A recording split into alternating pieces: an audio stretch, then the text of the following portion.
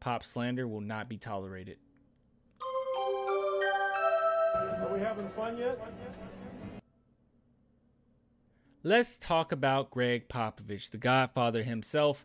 And this is what Steve Kerr had to say about Pop. Coach Pop has been my mentor for many years, having played for him and then picked his brain over the last seven or eight years. And the opportunity to work with him, I've learned so much, not just about the game, but about people, about culture. Now, I do want to talk about this because a lot of times you bring up that Popovich is really good when it comes to people and really good when it comes to culture and really good when it comes to empathy for other experiences and people will automatically just say that doesn't matter. That's stupid. I just want you to coach basketball. That's all i want you to do. But i'm going to explain why that's important or at least in my perspective why the things that popovich does is important. When it comes to the x and o's of basketball that can only take you so far. Like when it comes to uh, you know, a play that you write up, even if we're thinking about some of the greatest moments in Spurs history, a lot of these weren't necessarily plays that were drawn up. It was just the talent that you had on your team.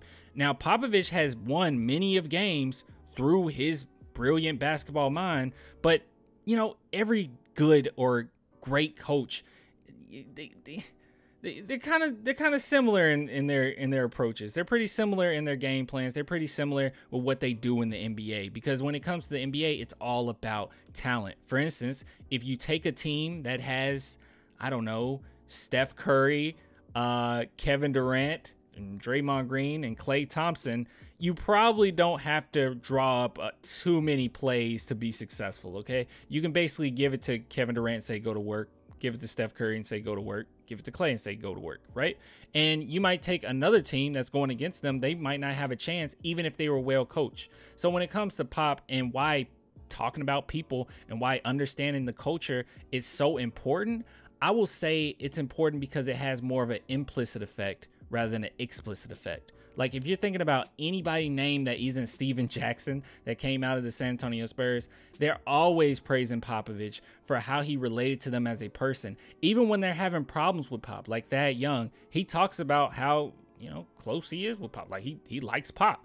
But with that being said, it does have an implicit effect when the way that Popovich goes about his business. Like whether we're talking about the rodeo road trips in which Popovich always has the players play together um, or not, not well, obviously play together, but I mean like play uh, bowling together, go out to eat together. There has been many of occasions and many articles talking about this that Popovich will have players come to his house on certain nights. Like I think he would have dinner with DeJounte Murray all the time. These things are important because it brings camaraderie and it brings togetherness. And he does these things all the time even if we're talking about what DeMar DeRozan said about Pop when he was talking about um, how Popovich often shows like movies and he kind of relates that to the team.